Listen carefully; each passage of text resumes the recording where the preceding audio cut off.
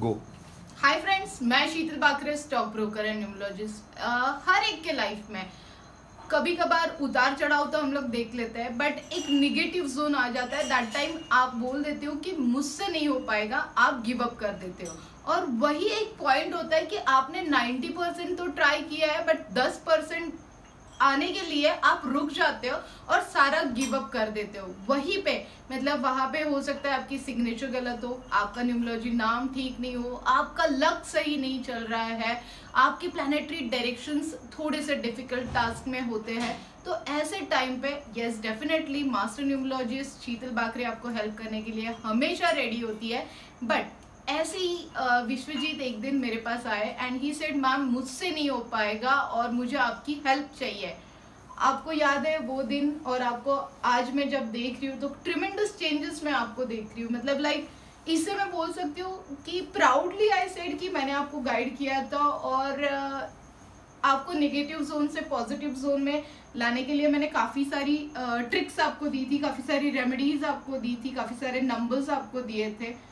आज आपका एक्सपीरियंस कैसे है? आज आपको कैसे फील हो रहा है? आप शेयर कर सकते हो।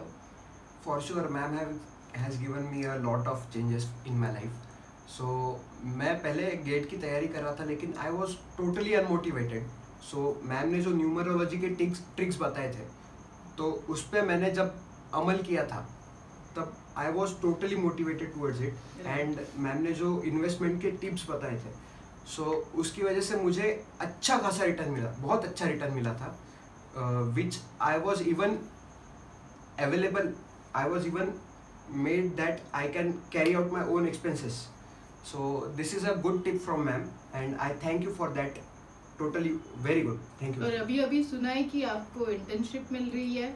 अभी शायद मिल सकती है लेकिन अभी फिक्स नहीं है लेकिन टाटा में शायद इंटर्नशिप हो सकती है। ऐसे मत बोलिए शायद शायद ये वर्ड निकाल दीजिए और ऐसे बोलिए कि मुझे मिलने ही वाली है। हाँ, और इमेजिन करिए कि आप वहाँ पे हो आप डॉक्यूमेंट साइन कर रहे हो आप पेमेंट ले रहे हो और पेमेंट भी आपका इंक्रीमेंट डे बाय डे हो रहा है और काफ़ी अच्छी अपॉर्चुनिटीज़ आपके सामने होती है।